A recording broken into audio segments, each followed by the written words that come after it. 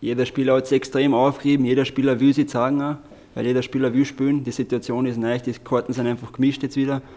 Und das merkt man einfach am Trainingspark, weil da, geht, da ist einfach zur Sache gegangen, wo man in letzter Zeit jetzt nicht mehr so das Gefühl gehabt hat.